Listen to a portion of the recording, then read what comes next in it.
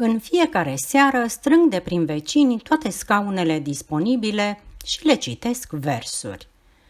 Scaunele sunt foarte receptive la poezie, dacă știi cum să le așezi.